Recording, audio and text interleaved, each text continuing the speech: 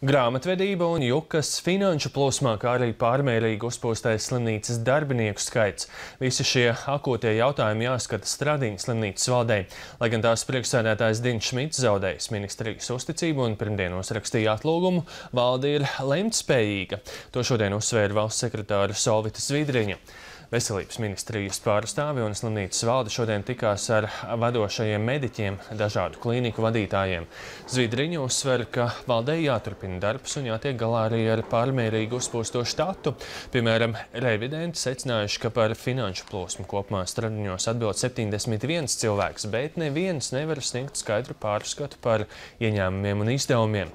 Naudas jautājums būtisks arī tāpēc, ka tāpēc zināms dažiem ārstiem un administrācijas pārstāvjiem maksātas nesamērīgi lielas prēmijas un piemaksas.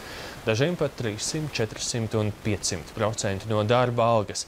Ministrs jau pieprasījis datus arī par šīm naudas injekcijām.